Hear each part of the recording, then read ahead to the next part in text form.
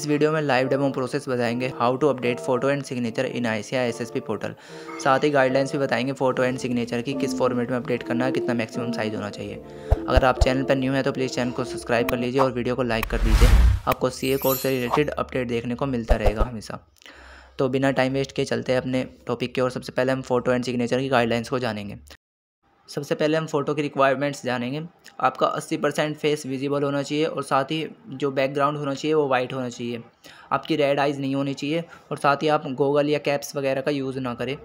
और जो आपका फॉर्मेट रहेगा वो जेपीईजी या जेपीईजी सॉरी जेपीजी या जेपीईजी फॉर्मेट रहने वाला है। और आपका जो मैक्सिमम साइज़ होगा वो एट्टी के तक होने वाला है। इसके अलावा अगर आप मैक्सिमम साइज़ ज़्यादा रखते हैं तो सिस्टम लेगा नहीं।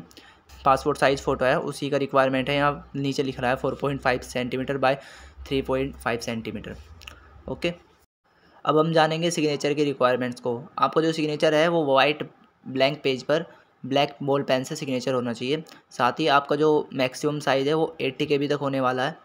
और जो आपका फॉर्मेट है, वो जेपीजी या जेपीईजी ये फॉर्मेट होने वाला है।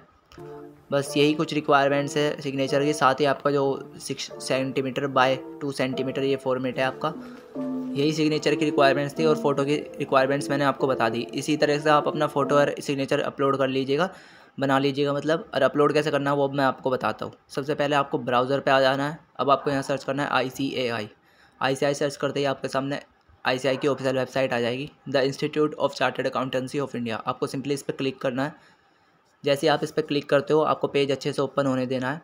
अब आपके सामने ऐसा इंटरफेस आएगा। यहाँ पे अब आपको स्क्रॉल डाउन करना है। यहाँ पे आपको सेल्फ सर्विस पोर्टल जैसा आपको स्क्रीन में हो रहा है, इसको एसएसपी पोर्टल बोलते हैं। आपको इस पर क्लिक करना है।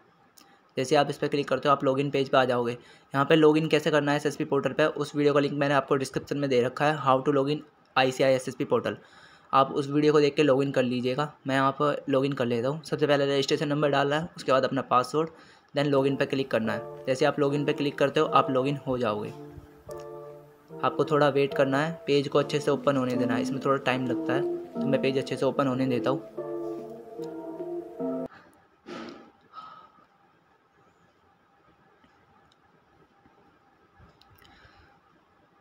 सबसे पहले आपको ये कट कर लेना।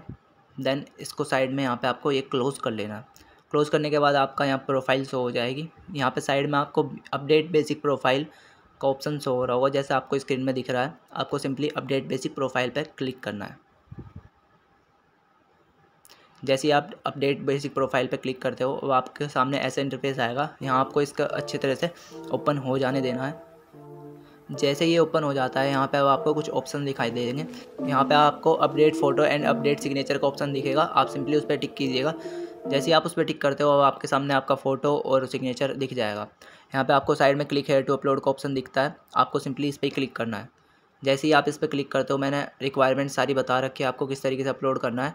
आपको सिंपली उस पर क्लिक करना है। ड्रॉप फ़ाइल हेयर या ब्राउज़र टू अपलोड। जैसे आप इस पर क्लिक करते हो, आप अपने कंप्यूटर स्क्रीन पर या मोबाइल स्क्रीन पर आ जाओगे जो वहाँ पे आपकी फ़ाइल है। वहाँ से आपको फ़ाइल चूज़ करके अपलोड कर देनी है। वहाँ पे सक्सेस लिखा आ जाएगा जैसे ही आप अपलोड करते हो। ऐसे आपको सिग्नेचर करना है। सिग्नेचर को अपलोड करने के बाद आपको सिंपली स्क्रॉल डाउन करना है। यहाँ पे अब आपको आई एग्री का ऑप्शन दिख रहा होगा। आपको सिंपली उस पर क्लिक करना है, उसके बाद जनरेट ओ टी पे क्लिक करना है। अब आपके सामने आपका मोबाइल नंबर और मेल आईडी शो होगी। यहाँ पे अब आपको ओके क्लिक करना है। देन आपको यहाँ पे कैप्चा फिल करना है। कैप्चा फिल करते ही आप जैसे सबमिट करोगे, आपके mobile number and mail ID पे ओ चला जाएगा। ओटीपी जाने के बाद आपको यहाँ पे ओ फिल करना है। आपको यहाँ पे ओ फिल करना है। देन वैलिडिटी ओ पे क्लिक करना है।